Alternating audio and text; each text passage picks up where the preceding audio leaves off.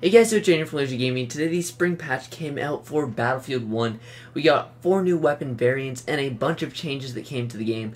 I'm personally not doing a update video, but I will link the patch notes down below in the description. If I forget to do that for whatever reason, just comment and I'll put the link right there for you guys.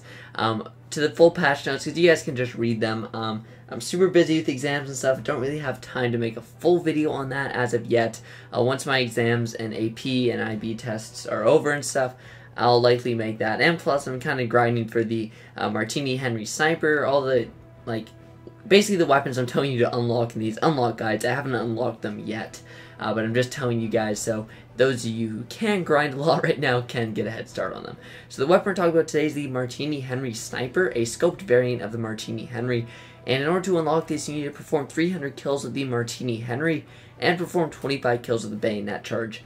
I'd recommend playing on open maps, obviously with the Martini Henry. Uh, operations, front and front lines are probably the two best game modes to do this in. You can rack up a ton of kills since the enemies will be concentrated.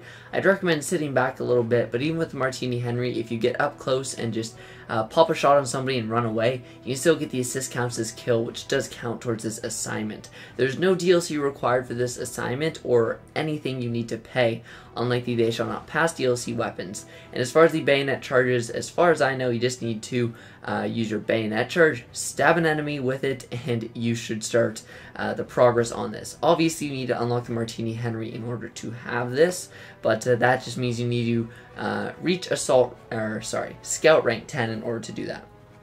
Tell me what you think about this new weapon down below in the comment section. Again, if you have any questions or problems with the unlock process, tell me down below in the comments. I'll try to help you with them.